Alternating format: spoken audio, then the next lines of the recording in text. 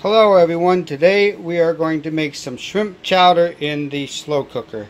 Uh, okay, so let's go over the ingredients. Uh, we have two pounds of cooked, uh, peeled, and deveined uh, shrimp. You want to get kind of small shrimp. I got this one. It's a little bit bigger than the popcorn style, but it's not like a jumbo. It does have the tails on them, so I'm going to have to thaw those out and take the tails off all those. But we're going to be putting in those at the end, so um, it's okay for now. We, we can uh, do that while the rest of the uh, recipe is cooking. So we have two cans of cream of potato soup. We have two cans of cream of chicken soup.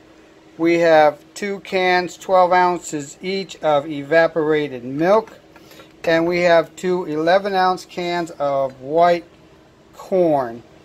Um, also we have a one white onion that we are going to chop.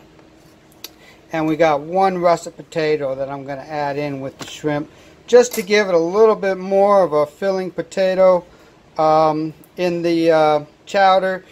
There's not a lot of potatoes in this cream of potato soup so I just want a little more potato in there, so I'm going to add that towards the end.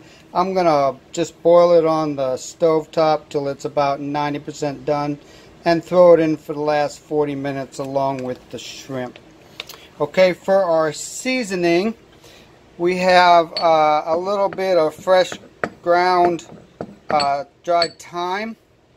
We're going to have one teaspoon of um, I mean a half teaspoon of garlic powder, one teaspoon of Creole seasoning. Any Creole season will do, but make sure it's not too hot for your liking, so definitely taste it first. I tried another one, it was just way too spicy, way too salty. So uh, one, one teaspoon of something that's not too salty, not too spicy is what I was looking for, but it's up to you on that. I'm going to do about a half teaspoon of dried cumin and a half teaspoon of ground white pepper. Um, incidentally, the thyme is probably about a quarter of a teaspoon.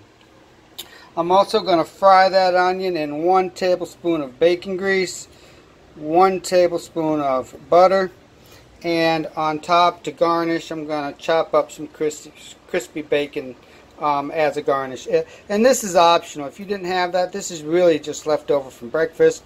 And I just made a little extra knowing that I was going to be making this recipe.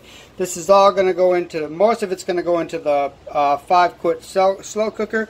And it's going to go on there for about 3 hours. Uh, the last 30 minutes or so, uh, like I said, we're going to, oh, and the cream cheese. So we're going to dice up the cream cheese and uh, thaw out the shrimp and we're going to put all, and this is already cooked, so it just has to warm up. And we're going to add that in at the end with the, uh, the extra potato, the last 30 to 40 minutes of cooking. So let me get the uh, onions ready to go and we'll start loading everything into the slow cooker. Okay, so I'm just going to get a tablespoon of bacon grease just to give that little extra flavor in the uh, chowder. And a tablespoon of butter.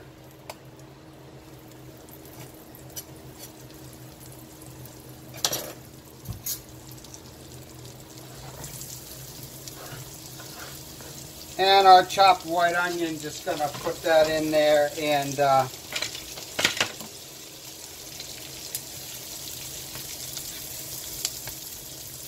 what we're going to do is cook this down just till they're soft. Um, I've got this on medium heat. I do not want this to brown. I don't want any color on them at all. Um, so really probably about six or seven minutes at the most. I'll bring them off when they're done. Okay, so that's pretty much all um, you want cooked down to. Translucent, very little to no color at all. And I'm just going to go ahead and throw that right into the slow cooker. Let me turn this heat off here.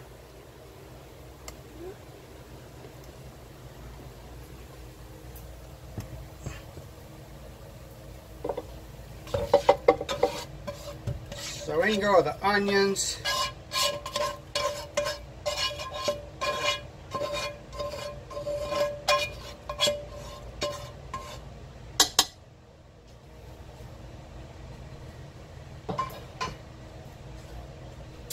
And then we're going to go in with our canned um, our canned items. Evaporated milk, one, two cans. Uh, the canned corn, I uh, drained it really good.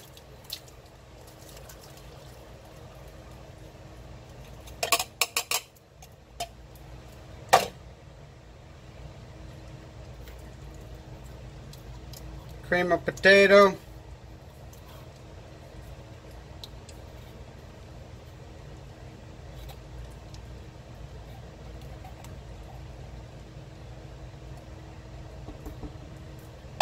We got two of those cans.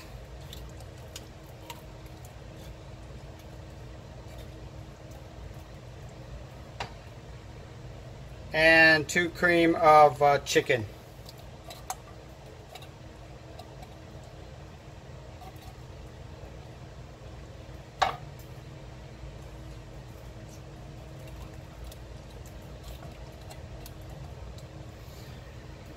Alright, so there's that. Now let's go ahead in with the seasoning.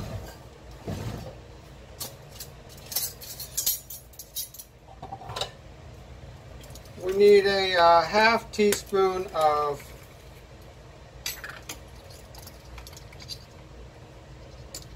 garlic powder.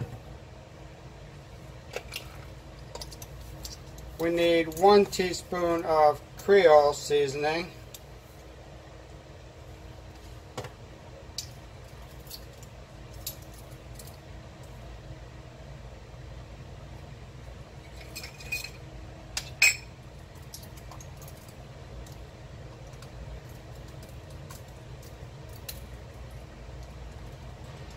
About one quarter to one half of uh, ground cumin.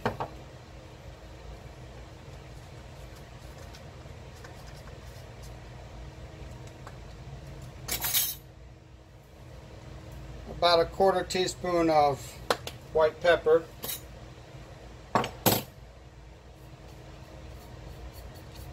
And that quarter teaspoon of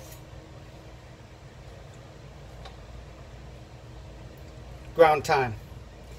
Alright, I'm just going to give this a good mix. I'm going to put it on low for about three hours, then come back and add the uh, rest of the ingredients. So we'll be back then.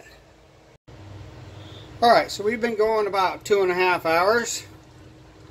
Um, and here's what it looks like so far. I only gave it about an hour ago I gave it about a uh, quick stir so. And here's those extra potatoes. Let me go ahead and show you the consistency as it is.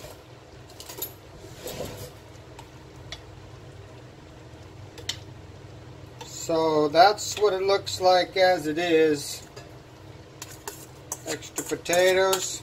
Drained them very good I cooked them most of the way. Um, sort of forgot them. I would have left them a little bit firmer than they are now, but sort of forgot about them. So, and um, here's the shrimp. I'm not going to pour these in. They've been uh, they've been sort of draining. I do not want all that extra uh, liquid on the bottom. I want just the shrimp. So I'm not going to pour those in.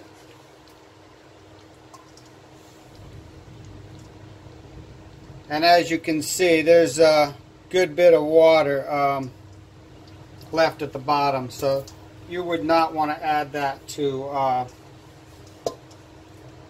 to the dish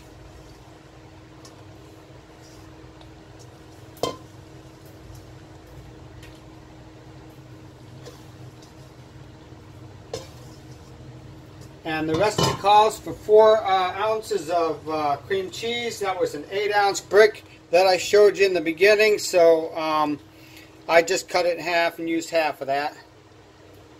And all I did was dice it up. best I could.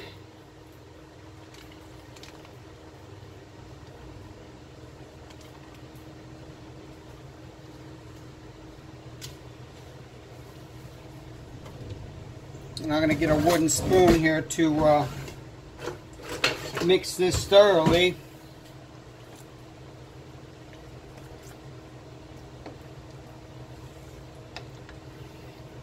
This is smelling really, really good. Um, it looks good too. I like the uh, consistency, the nice smooth creamy texture was exactly what um, I was going for.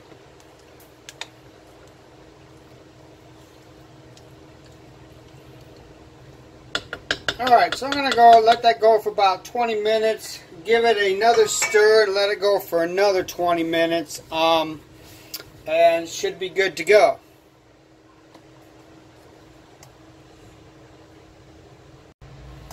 Alright, so it's been going about 40 minutes. And I just went in there and gave it a couple stirs every once in a while. Make sure that uh, cream cheese is fully melted and uh, evenly distributed. So what I'm going to do now is just go ahead and plate up a bowl.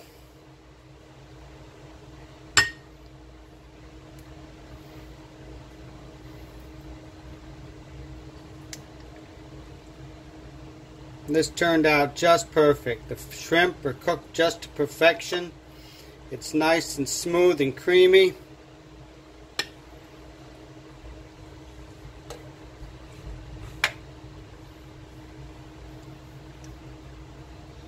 Just the right consistency. Oh, and uh, I did uh, put that bacon on the in a pan and just crisped it up a little bit, crunched up a little bit.